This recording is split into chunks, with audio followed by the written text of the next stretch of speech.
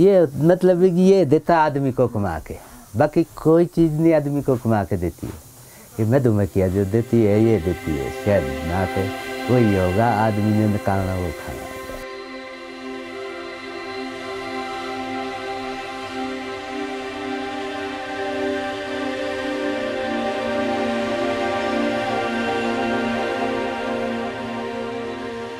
Honeybees are an integral part of mountain farming in Himachal Pradesh.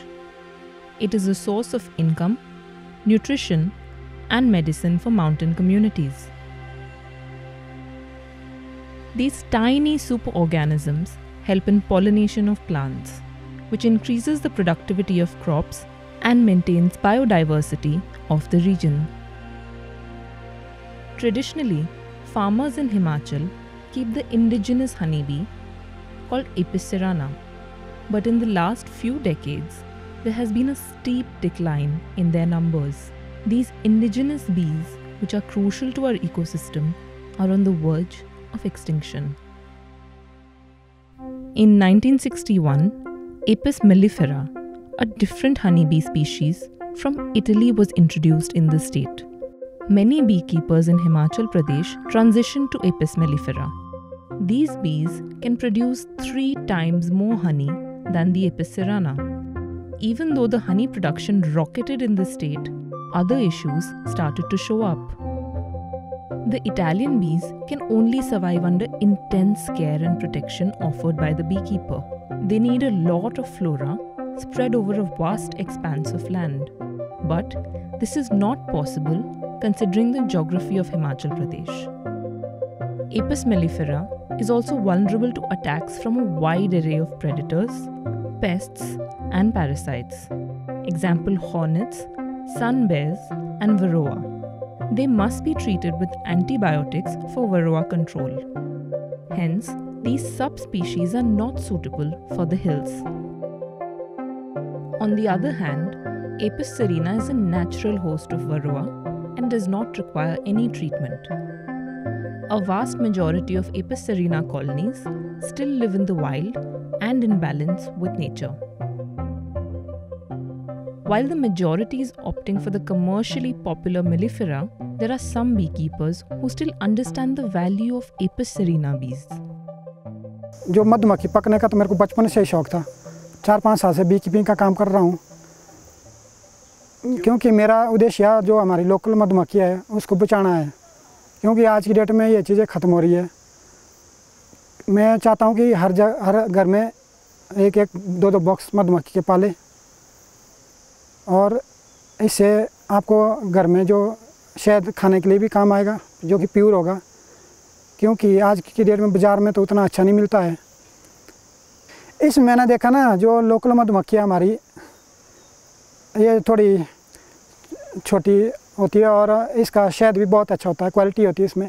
जो बाहर से लाते हैं मधुमक्खी के बॉक्स जो हमारे नगर में है, हिमाचल प्रदेश में लाते हैं, जैसे काफ़ी एक हज़ार, दो हज़ार के आसपास बॉक्सेज आते हैं। जब ये यहाँ लाते हैं, जैसे हमारे जो नेचुरल बॉक्स है, इनमें शहद में कमी पाई, देखी मैंने, और इनके साथ वायरस जैसा भी आता है और मधुमक्खी के बॉक्स में बीमारी भी लगती है। विदेशी को है तो ना, उन्होंने थोड़ा ज़्यादा पैदावार और के लिए रखा, क्योंकि जो हमारा लोकल है, मधुमक्खी है, उसको जैसे बीच बीच करना उतना आसान काम नहीं है, ये थोड़ा टफ काम है। ये जैसे हमारी लोकल थोड़ी फुर्तीली होती है और भागती भी है।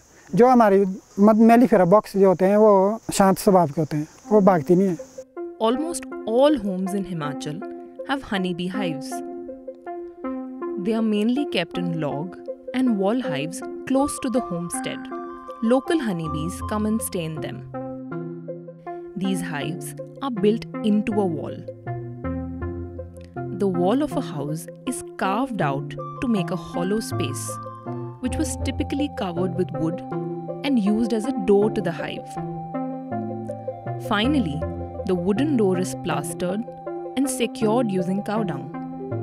Behind the wall, through a small opening, bees can move freely and make honey. Honey can be harvested from these wall hives twice a year. कि है वो तो बहुत पुरानी है मधुमक्खी वो नई नहीं है, वो पुरानी है। ये खुद अपने आप आ जाती है, अपने आप ऐसा कहते ना, वो जो नए वो डब्बे डुब्बे बनाते हैं बाज़ार में, वो तो नया प्रोग्राम है। तो जो ऐसे रहना था, उनमें कोई पेड़ में रहना, कोई पुराने घर होते हैं, उसमें ऐसे होते हैं, बनाए हुए डब्बे, बस वो साफ़ कर कर रखना, वो खुद आ जाती है। बाद में जब वो गई तो सर्दी में जब गई है तो तब गर्मी में आते ही है। तब पड़ता थोड़ा शहद रखना, वो इसके डब्बे के अंदर लगाना वो। तब आते हैं वो कि हाँ यहाँ है हमारे को बैठने को ठीक है। तब आते हैं दोबारा, तब आता है वो ज़्यादा।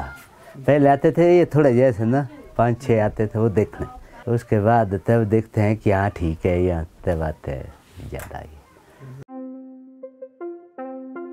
Apis serena bees have a long foraging time, and the pollination rate is also higher.